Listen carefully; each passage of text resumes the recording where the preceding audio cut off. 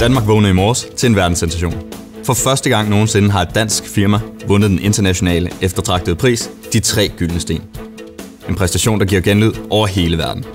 This year's winner of the three Golden Stones Awards goes to a Danish company by the name of RC Beton. Company kan navn have RC Beton. Drei goldne Steine für die dänische Firma RC Beton. The jury claims that this could quite possibly be the most perfect terrace ever built.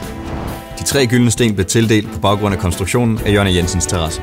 Jamen, jeg, jeg har ikke følt mig så lykkelig, siden jeg fødte en søn. Altså, det er ikke helt gået op for mig endnu. Jeg har verdens mest perfekte terrasse.